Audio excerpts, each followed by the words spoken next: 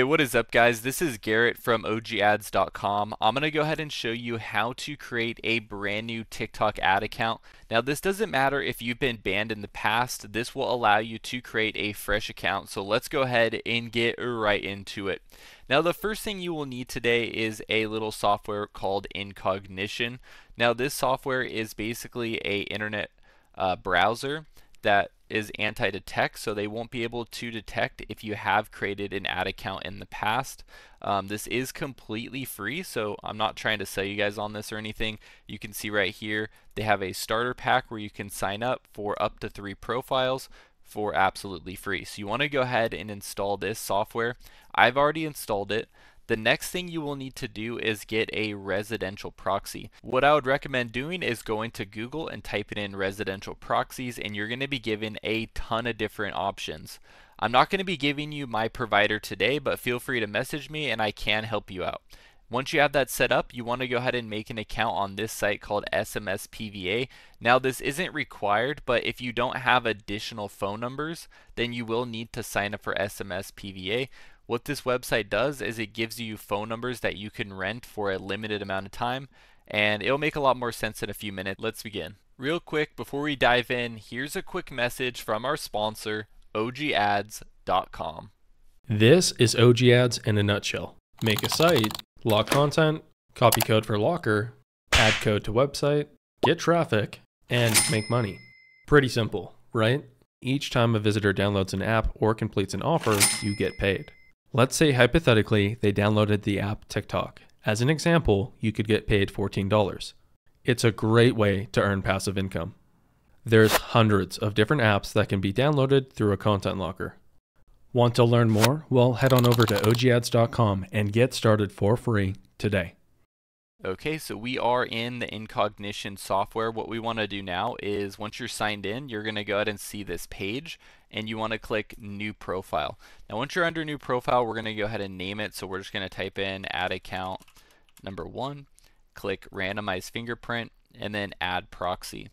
At this point, we will go ahead and select HTTP proxy and enter our proxy. Once you have that complete, click Check Proxy, and it will go ahead and try to check and see if it is active. Looks like we're good to go. So I'm going to click create profile and we are now in. I'm going to click start. Once you click the start button, it will open like an internet browser. And what you want to go ahead and do is search for Gmail. Now you need to create a fresh Gmail account and this is where we're going to be using the phone number from SMS PVA. Um, so let me go ahead and create an account really quick and then I will be right back. Alrighty, so I'm going to go ahead and verify my Gmail. So this is where the phone number will come into place. If you don't have multiple phone numbers, you're going to have to use SMS PVA to get the phone numbers.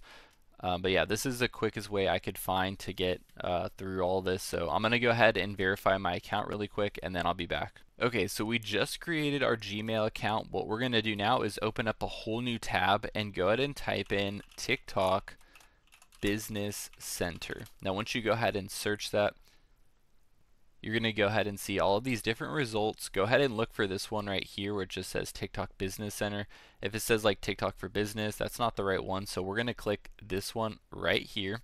And then once you get onto this page, Okay, so we are now on the sign up page. I'm to go ahead and enter my email and then let me go ahead and enter a password and then I'll be right back. Now you're to be shown this page right here. You need to go ahead and select that I'm an advertiser and not I'm an agency. So let's go ahead and click I'm an advertiser and then we will go ahead and set it to United States. At this point you can go ahead and enter a random company name. So I'm to go ahead and just enter something random.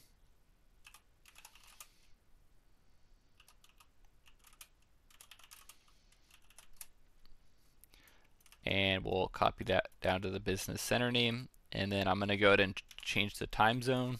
Doesn't really matter you can set this to anything and then click create. Okay so now that we're in the business center account I'm going to show you exactly how to create your ad account.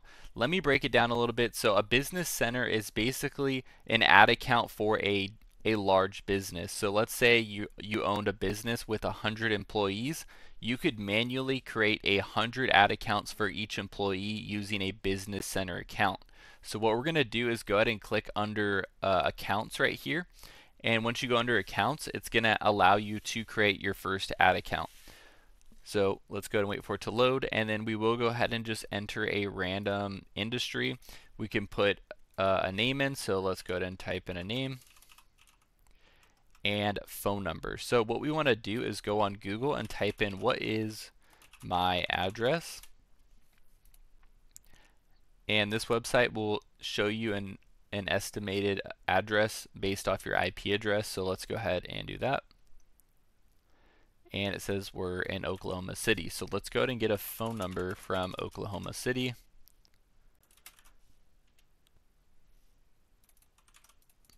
Alright, we got that. And click Submit.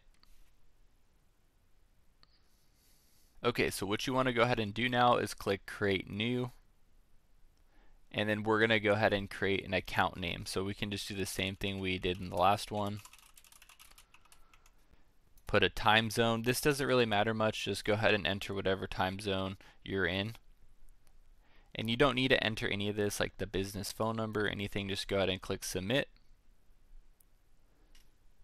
And there we are. So it's going to ask for your billing information. What you're going to do is go under, I think, business settings, or no, it's verification.